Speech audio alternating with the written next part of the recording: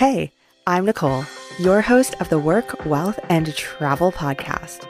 On this show, we're going to be talking tangible action that you can take in order to achieve the life you thought was only achievable after retirement. Everything you want now in life, you can have it. Will it take hard work, patience, and uncomfortable growth? You bet it will, but it will be so worth it. On this show, we will be deep diving into the topics of lifestyle design, travel, entrepreneurship, and everything in between. I myself am a global citizen and world traveler who left my home country and conventional lifestyle behind for a life of adventure and following my passions. And that's exactly what I want for you. It's your time to love your work, build your wealth, and create the lifestyle you've always dreamed of. Let's do this. Welcome to the Work, Wealth, and Travel Podcast. I'm your host, Nicole, aka Nomad Neeks, and I am so excited to dive into this episode where we're going to chat a lot more about travel hacking and points hacking with our guest today, Ginny. Ginny has always had a passion for traveling and for saving money. When she found out she could combine her two passions in the form of travel hacking, she was hooked. With the world of points and miles, Ginny and her husband have traveled home to visit family, stayed at an all inclusive resort for $0, and most recently visited Ireland on points. Ginny loves to share her travels and teach others how to travel hack too on both Instagram and TikTok. Ginny, welcome to the Work, Wealth, and Travel Podcast. Ginny, thank you for being on the Work, Wealth, and Travel podcast today. I am so excited to chat travel hacking, travel points, and business and entrepreneurship along with that. So, before we get into all of the good stuff, why don't you start by telling us a little bit about your story, your background, where you started, and how you got to where you are today? Thanks, Nicole. I'm so excited to be here. So, I got into travel hacking, it was probably 2021. One of the major credit cards that a lot of people start recommending travel hacking with, the Chase Sapphire Preferred, had this huge sign up bonus, and we were thinking about doing it, and we're like, you know what, we're just going to take the leap and do it and it's very addicting. But a little bit of a backstory with that I've always had a passion for traveling. Growing up, I didn't really have the opportunity to travel. A lot of times we would just go down to the shore, as us Philadelphians say, um, or the beach. And then as I got into college, I got the travel itch, but it's expensive. And I've always been into saving money. Back in the day, I actually was an extreme couponer. So when I found I could travel and then also take that huge savings aspect of it with travel hacking, I was hooked. Um, and after we got that first card, I have never looked back. We just love using those points to be able to travel the world. Wow, that's so cool. And I'm sure that that's such a great feeling when you see the price and then you see the price with the points or whatever it is that you have accumulated. And I'm sure that's just a wow feeling. For sure. So for us too, we live in Florida and our family's back up in um, the Pennsylvania, New Jersey area. So even just covering those flights to go home are huge because they can add up quick. I mean, it's Drew and I, it's two of us, two round trip tickets, and the way domestic prices have been right now, we we're saving like two or three hundred dollars. So that's something to definitely keep in mind with travel hacking. Wow. Yeah, I feel like flights, and I mean, the price of everything has gone up so much, but I'm sure flights is probably one of those areas that was kind of a luxury and a little bit of a more expensive section of your budget and everyone's budget to begin with. And I'm sure it has definitely gone up. So, how did you get started when you were thinking, you know, I love travel and I like the idea of being able to redeem some points and get some money off? But what did that look like really for you? Was it you found the credit card and you were just like, okay, I'm going to figure it out as I go? Did you research it? I know there's a lot of resources out there to help get started with travel hacking. How did you really get started in that space for you specifically? So we actually started on a personal finance journey before we got into travel hacking, and I find that's how a lot of people start. So I had just gotten out of college. I was working a residency job, and my husband and I were trying to just get our finances on track, get a hold of our student loans. So we really focused on that. And I, with bits and pieces, I would learn about travel hacking. I'm like, hmm, this sounds interesting, but we just weren't in a place where we could handle credit cards. And then it got to a point where we are like, you know what, we're ready. Let's take the leap. Let's take it, start with that one card. I Just kept going from there. Cool. That's awesome. So I have to ask, how many cards do you have now that benefit the travel hacking? Oh my goodness, I'm trying to think. so I will preface this with you do not have to be like me. You can travel hack with opening two or three cards a year. Between my husband and I, we're probably at like 10 or 12. But again, we've been doing it for a year and a half, almost two years now.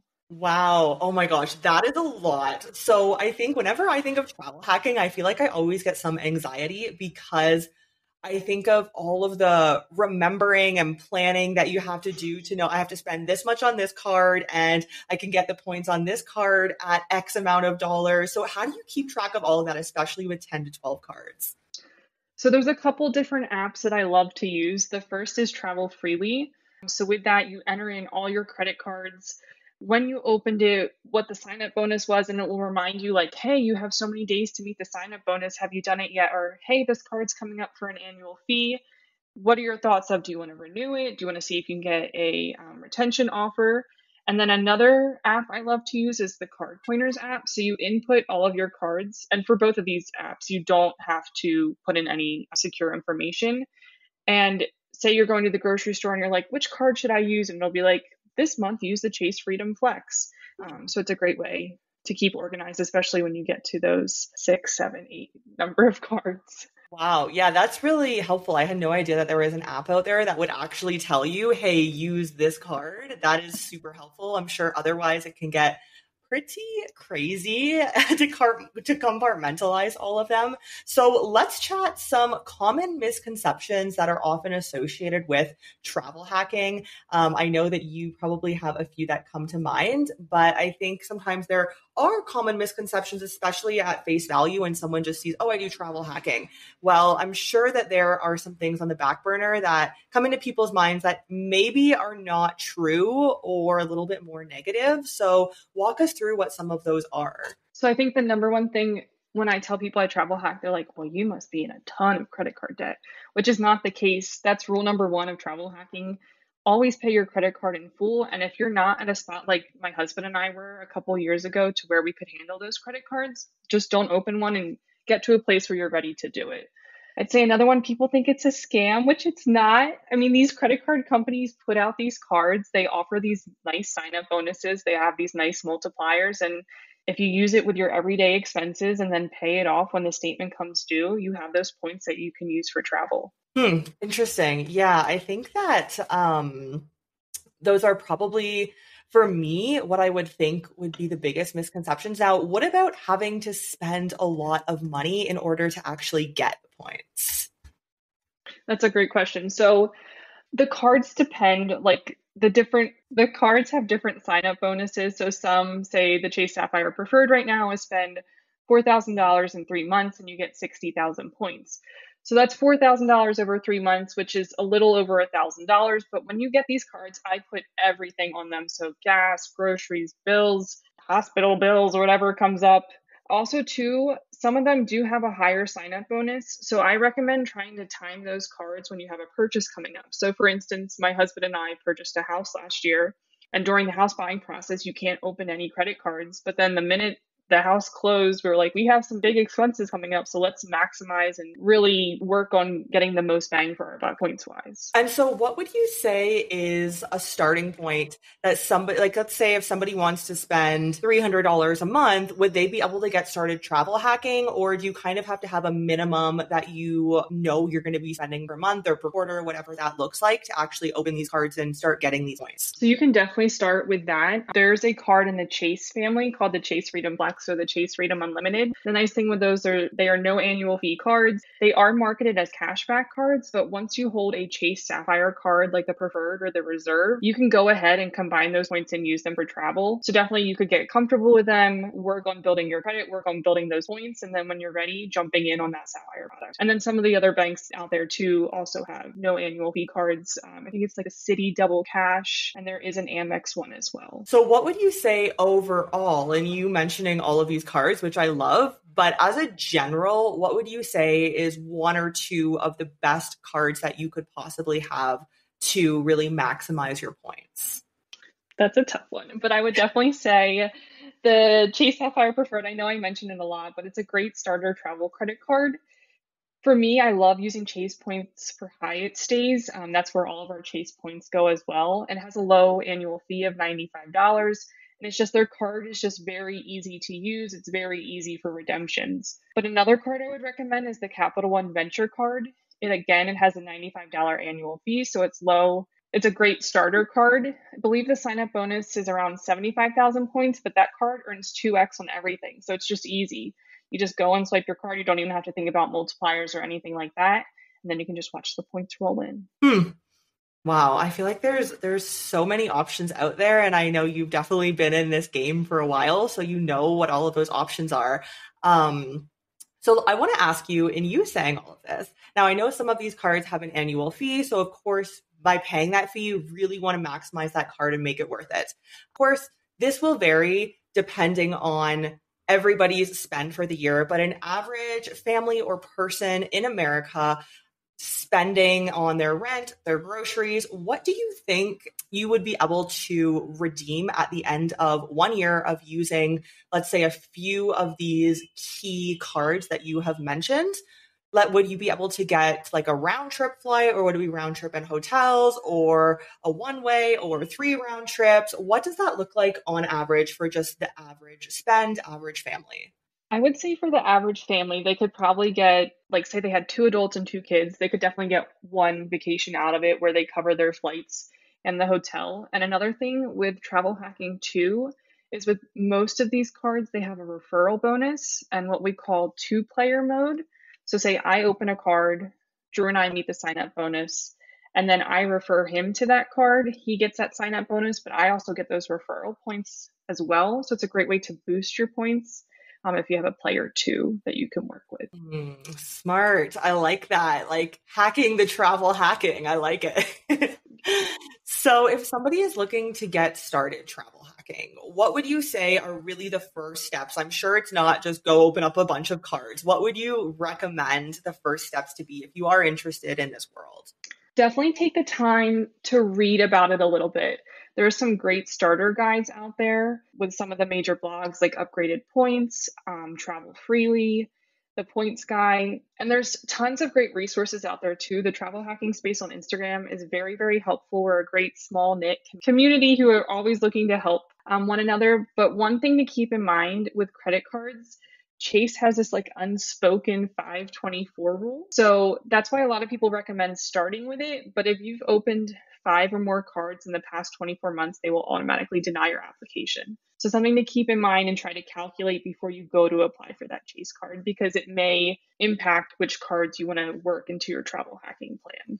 Mm, interesting. I guess five cards is a lot within that short time span. So I guess that does make sense, but that is good to know. So transitioning from the travel hacking side to the business and entrepreneurship side. Now, I would love to chat with you about this as well. You have built a business out of credit card points and travel hacking. So walk us through where it really started in you doing your passion, travel hacking, and then where did the business idea of, you know I can actually turn this into something as a full time or a side gig? How did that start? What did that look like in your journey? So I created an Instagram last April. So my husband likes travel hacking, but he's not as obsessed as I am. And he was getting tired of me talking about it all the time. And I wanted to share travels and like our tips and tricks with our friends and family. So I just created it, was sharing things like that. And then I built relationships within the travel hacking community. And then one day someone reached out to me and was like, Hey, I'm looking for someone to help with a masterclass. Are you interested? And in that moment, I was like, Oh my goodness, I am so scared. I am not ready for it. But I would say one lesson I learned from it is jump before you're ready because we're all going to make mistakes. You're going to mess up, but from it, you learn and you grow. Yeah, I really like that. So, starting your business, did it start through Instagram? Was that really how you got started, or what did that look like for you? Yeah, so I started on Instagram. Um, and some people in the travel hacking space, so they offer, say, courses. Sometimes they do master classes. So I just started sharing things, and eventually, like I said before, someone reached out about partnering with a class. And then from there, I was able to network more with that. And eventually, I got to a point I was like, I'm a host on all these master classes. Why can't I just own my host my own every month and bring guests on it as well.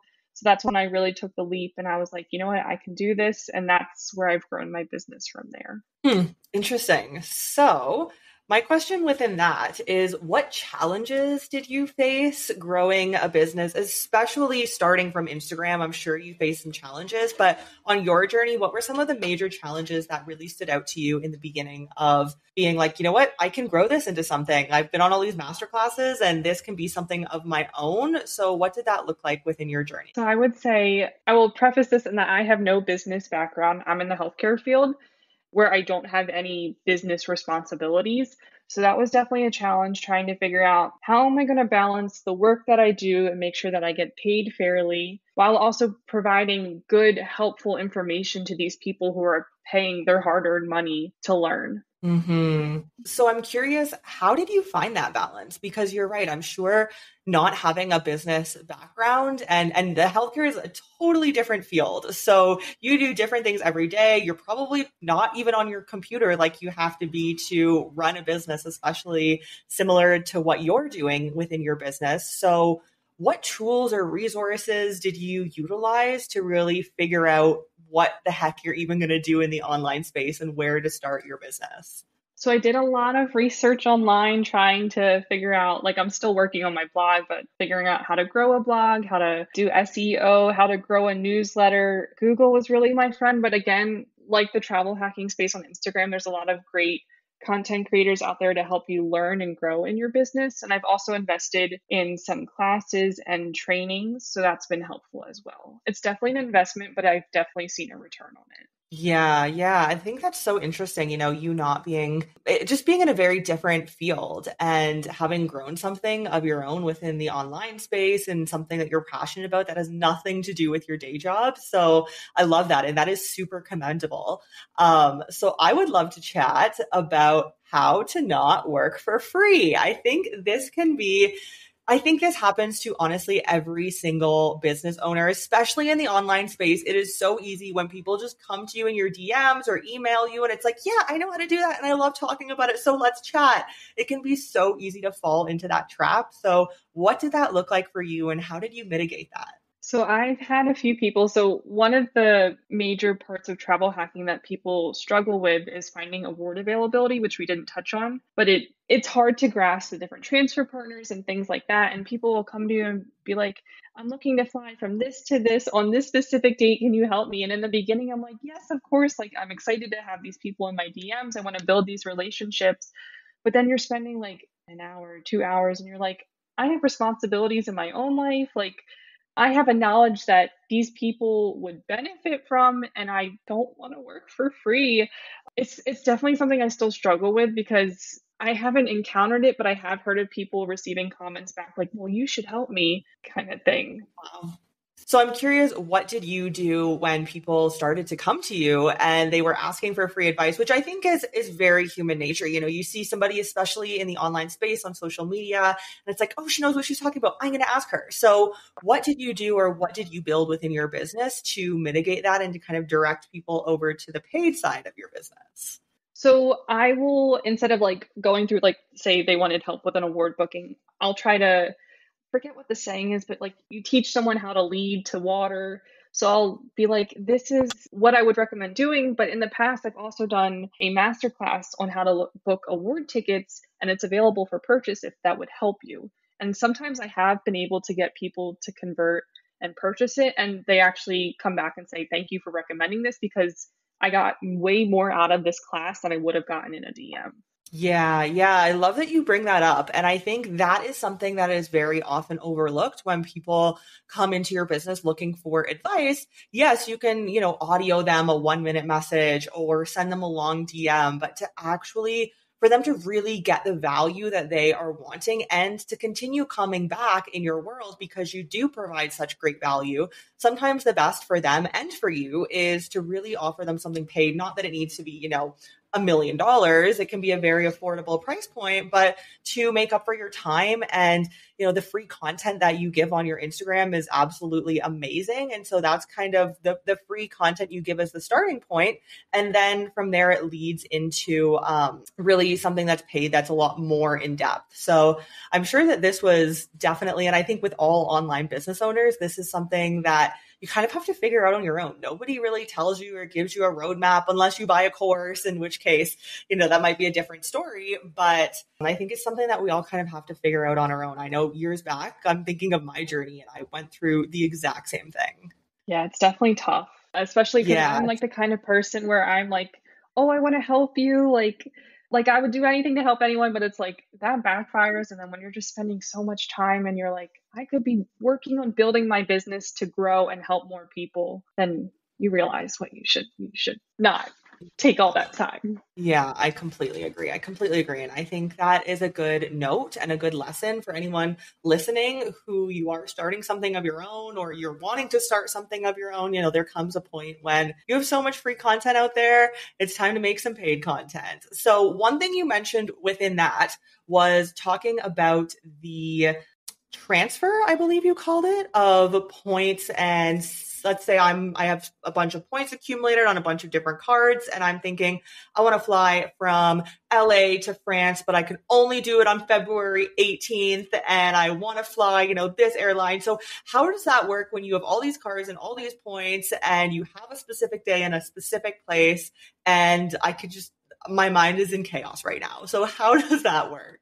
So when booking award tickets, I always recommend if you can try being flexible with your date, try being flexible with your destination, and even being flexible with your departure point. So my husband and I we live in Orlando, which has some international flights, but you're probably going to get a much better deal if you fly out of say DFW, JFK, LAX, depending on where you're going within the world with credit cards too. So these credit cards are trying to push you to book in their portal where you're either going to get anywhere from 1 to 1.5 cents per point. So it's not the best redemption. But if you look at those transfer partners, you can get a much better deal. So I've done like a couple of reels and posts on this, but there's been examples where, say, you wanted to do a weekend in Savannah, Georgia, and if you were to book in the portal, it's say 70,000 points. But since it's Hyatt and Hyatt has awesome redemptions, you can transfer to them instead and book it for, I think it was 30,000 points. So it definitely takes some time and trial and error to learn those transfer partners, but that's where you really get to maximize those points and miles.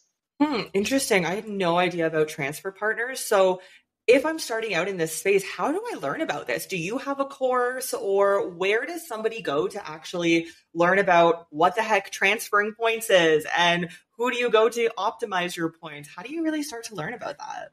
So I do have a masterclass on master. It was called Mastering Award Flight Booking. So going through those different transfer partners, and then also talking about alliance partnerships, which is like another step up to really maximize your points and miles. But there are tons of great resources out there. Say you wanted to travel to Greece, you could search how to use points and miles for Greece, and there's tons of great resources out there that will walk you through. If you have this card, look at this transfer partner, or if you have this other card, look here and then, two, there are also award search tools. So, for example, one of them is point.me, where you can put in, say, I'm flying from Philadelphia to London and I have these points. Which flights are available on this day? So, okay, so I have to ask, and you sharing everything that you have just shared in this episode, what is the best flight or reward that you have ever redeemed? So it's good, but it's also bad. So my husband and I recently just got back from Ireland. So we booked business class flights from Miami to Dublin round trip on Aer Lingus, and it was 62,500 points per person per way. Now, when we booked it, there was a 40% transfer bonus, which is another whole thing that to open up. It's like another can of worms. But basically, instead of transferring 1,000 points, you would transfer 1,000 points and get 1,400 points. So we ended up transferring about 179,000 points for this flight. Now, the taxes and fees can be a little bit higher when flying internationally. So it was about $160 one way per person. But the retail value of this flight was like $15,000, which is ridiculous. I don't know who in their right mind would pay it. I would never pay it. I know these airlines like to inflate the cost, hoping people will purchase it, but that was probably our best redemption. But the only downside coming back, our flight was miserable. It was horrible. Our seats wouldn't recline. They ran out of meals, so it was a little disappointing. Wow, fifteen thousand dollars? That's crazy. Okay, so in you saying that, I need to ask you about inflation of costs. If that is anything that you have any knowledge about, I would love to chat about that. And backstory of why I'm asking this is because literally yesterday I booked a flight and then I couldn't book baggage. And so I knew that I had to call them because I booked on a third party to book the baggage. But then I saw after I booked that I could add on my one bag for 70 US dollars, which was, you know, it was a short flight. So that was about the cost of the flight. Um, so I called them and I ended up paying $15. Actually, it was like 10 US dollars, 15 Canadian dollars, just because I called them and my bag wasn't the maximum weight. And I told them that. And I was just mind blown. So talk to me about inflation of airline ticket prices. It's it's crazy right now. So we're trying to fly home in April since my sister's having a baby. And normally flights Orlando to Philly round trip maybe $300 cash. And I was looking at dates and for one way, I was like flabbergasted. American wanted a thousand dollars in economy for this two and a half hour flight. And I was like, no, we are not paying that. So this is another trick. It's not related to points and miles. So I found a cheap fare on Spirit. We're just going to do a personal bag. But if you buy it at the airport counter, you save on the passenger fee. So you save $23 a person per way. And is the to keep in mind same if you book online versus the counter? Yeah, it's the same. So we the round trip for the both of us, I think it was like three hundred dollars, but if we had booked it online, it was almost four hundred. Wow. Wow. I did not know that. All right. Well, this is great. Before we go, do you have any other travel hack or airline hack or tips for us? I would say for travel hacking, just take it easy. Take it one card at a time. Don't overdo it. Don't try to open like 10 cards at once, which I kind of tried to do because I just loved it so much. But also just keep an eye out for good flight deals. Like with how we were talking about, the prices are so expensive right now. I mean, look to go international as well. The flights are so much cheaper there than within the domestic United States. Hmm, interesting. Well, that's good to keep in mind. Well, Ginny, thank you for being on the show. Where can people find you if they want to learn so much more about this world? So I'm on Instagram and TikTok at the Grady underscore bunch. Awesome. And then everything is linked down below so you can check her out there and get to travel hacking. If this episode has served you in any way, I would love it if you shared what you've learned or a part of the episode that you loved by tagging me on Instagram at NomadNeeks. If you haven't already, please hit the subscribe button and leave a five star review so that I can continue to bring you educational content, learn, and grow together.